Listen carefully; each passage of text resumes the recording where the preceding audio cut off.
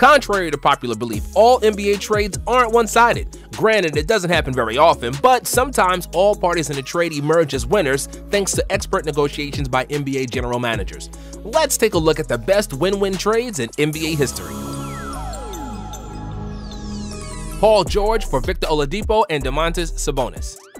When Paul George demanded a trade from the Indiana Pacers in 2017, no one, absolutely no one thought he'd wind up in Oklahoma City.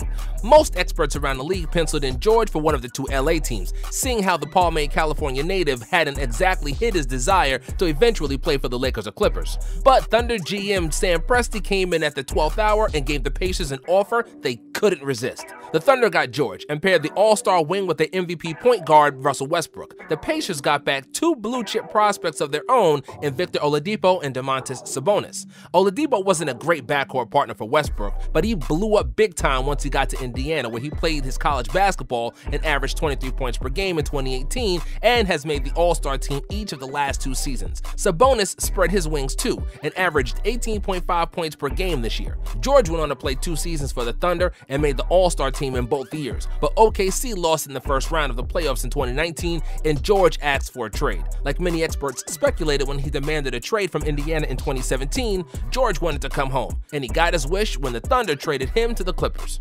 Pau Gasol from Marc Gasol. Back in 2008, it looked like the Grizzlies had traded the best player in franchise history for a pile of actual garbage.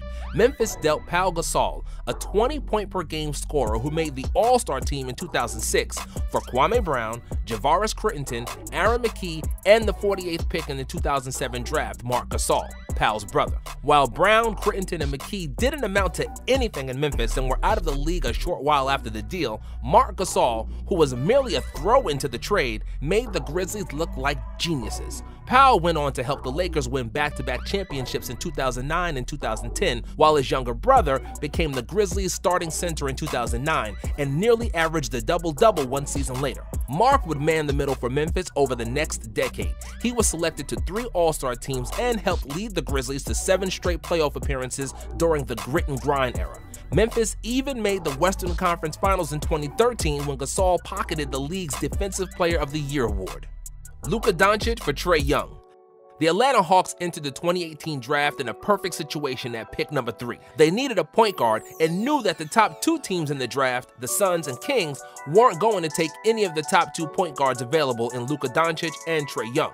But the Hawks also knew the Mavs wanted Doncic bad, so they negotiated a deal with Dallas where they swapped first round picks with the Mavericks and also picked up an extra 2019 first round selection in the process. The Hawks got their guy in Young, who averaged 19 points per game as a rookie and made the All Star game in just his second season. The Hawks also used their future Mavs pick to select Cam Reddish, who could be a future impact player. The Mavs got their guy too in Doncic at pick number 5. Doncic went on to win Rookie of the Year over Young and also made his first All Star team in his second season while averaging 29 points, 9 rebounds, and 9 assists per game, numbers which put him in the MVP conversation earlier this year. Glen Rice for Alonzo Mourning. The Charlotte Hornets never should have traded Hall of Famer Alonzo Mourning, but their hand was forced in 1995 when Mourning's feud with teammate Larry Johnson led to the Hornets breaking up a perennial playoff team. Miami got Mourning, who had already been an All Star twice with Charlotte, along with Pete Myers and LeRon Ellis, by giving up Glen Rice along with Matt Geiger, Khalid Reeves, and a 1996 first round pick. Rice had spent his first six seasons with the Heat and was just beginning to develop into an all star after averaging 22 points per game, but Miami hadn't had too much success with him leading the way. Mourning went on to make five all star teams with the Heat and won Defensive Player of the Year twice as Miami made the playoffs six straight times. Mourning went on to become one of the most beloved players in franchise history. Rice played three seasons with Charlotte and made the All Star team in all three years. He averaged a career high 27 points per game and made a league best 47% of his three pointers in 1997. Anthony Davis for the future.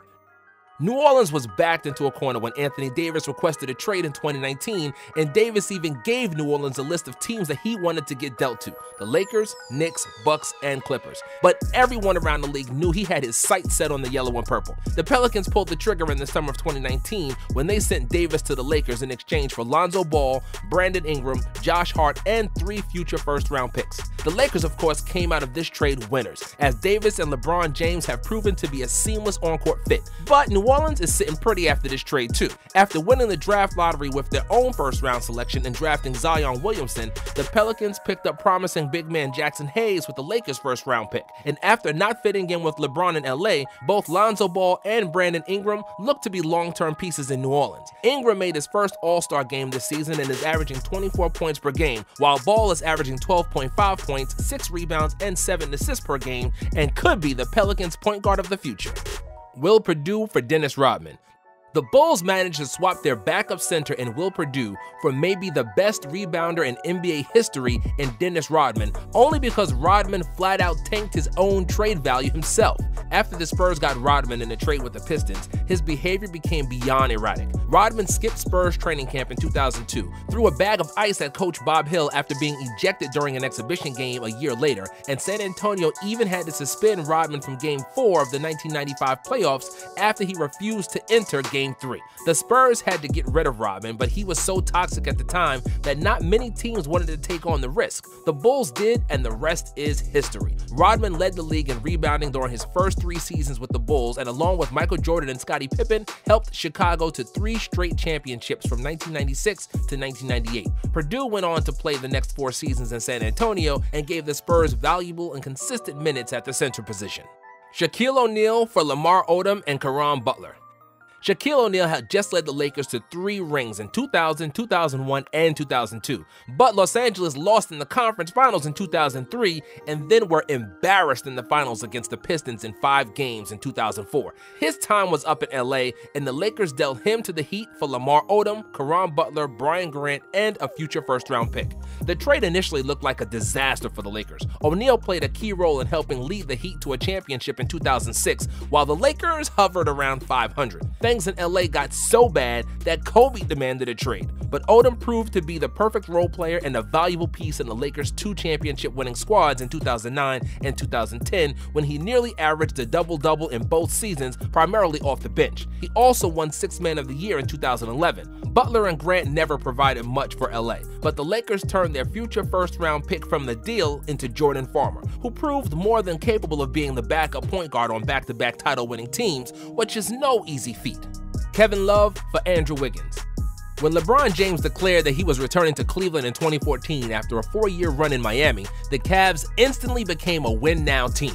LeBron wanted to play with as many veterans as possible, so the Cavs swapped Andrew Wiggins, who Cleveland had taken number one overall in the draft just that summer, along with 2014 number one overall pick Anthony Bennett for Love. The Timberwolves also received Thaddeus Young as part of a three way deal that involved the 76ers. Love, who was already a three time All Star with the Timberwolves, along with LeBron and Kyrie Irving, helped the Cavs to four straight NBA Finals with Cleveland, winning the championship in 2016 over the 73 win Golden State Warriors. Love will probably go down as an underrated contributor on those Cavs teams, but was a skilled scorer and averaged 19 points per game for Cleveland in 2016. He also made two All Star teams with the Cavs in 2017 and 2018 and is still one of the best rebounders in the league today. Wiggins blossomed into a 20 plus per game scorer with the Timberwolves, who reoriented their team around the skilled wing. His best season with Minnesota came in 2017 when he averaged 24 points per game. Charles Oakley for Bill Cartwright.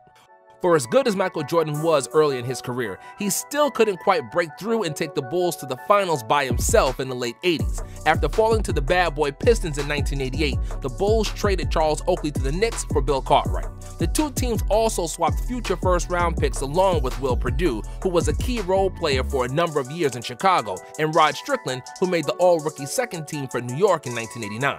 The trade was controversial at the time. Oakley was an excellent defender. He was also Jordan's best friend on the team and protector who was willing to fight Jordan's fights for him. But Chicago felt like they needed a bigger presence at center to battle the rival big men that stood in the Bulls' way.